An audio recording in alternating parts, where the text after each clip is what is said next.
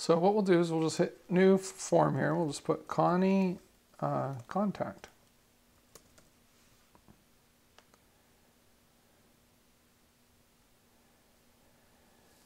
So you can select, a different field type. Here, I'm going to click on this one. So let's just say we want name, uh, phone number, and email. You can ask address, you can get um, all kinds of additional information, a drop-down pages section, all this information.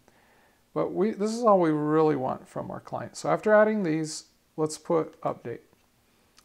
When you, you ask for this information, some people want to get tons of information, they get it all up front, but a lot of folks will not fill out a form that asks too much information. So you got to find a good balance there. So then the next thing we want to do is we want to go to notifications.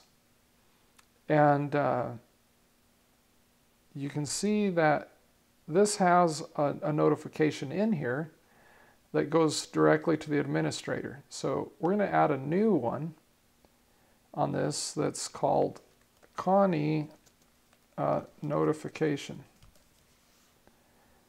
And basically what it's going to do is we're going to put it in here to send this to your email that we're going to get uh, from your agent page.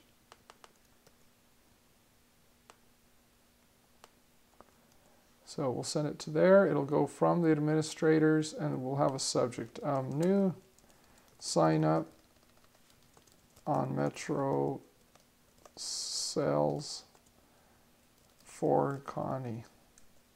And you looks like it requires a message. So we'll put Connie.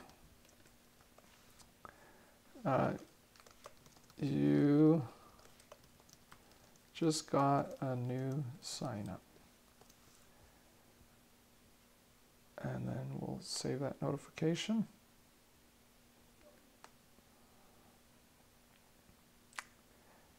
So we'll put in something like this into the form, and you can just copy paste this. I'm going to get, this is, since we saw that that form is uh, form number two, I'll show you real quick where we can see that.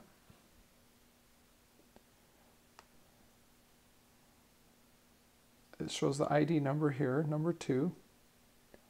So that's the only thing I need to change here and we'll update that. I want no title, no description, so I make those false.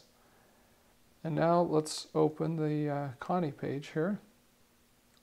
You can see that if it scrolls down, people can put in their name and phone number in the email, and that lead will go to you.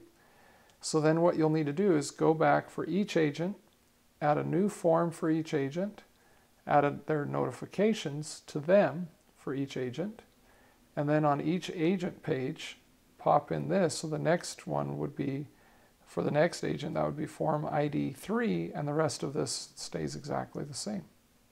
That's it.